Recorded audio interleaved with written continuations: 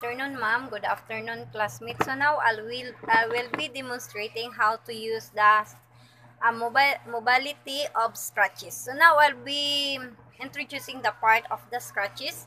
This is the armrest, hand hand grip, adjustable knob, stuck button, and the rubber mat.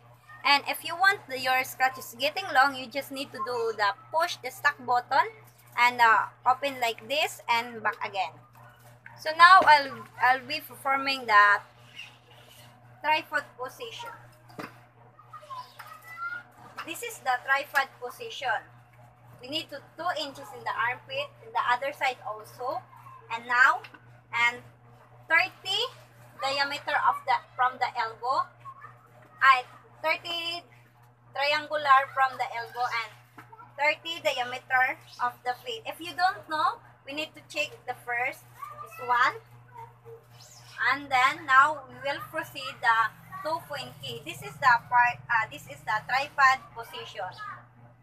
The two point key, this is my weak side, is my left side.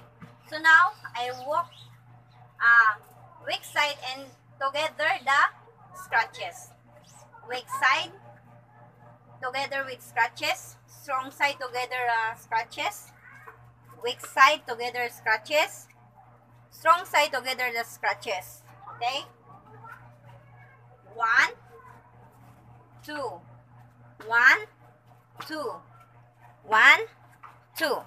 So now I will be performing three-point key. The three-point key, and first is the crutches and the left side and the strong side.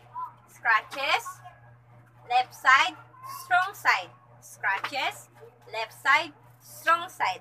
Crutches, left side, strong side. Crutches, weak side, strong side. So now I will be performing three-point key. The three-point key is both of my body has weak. So now first is weak side, crutches, strong side. Weak side,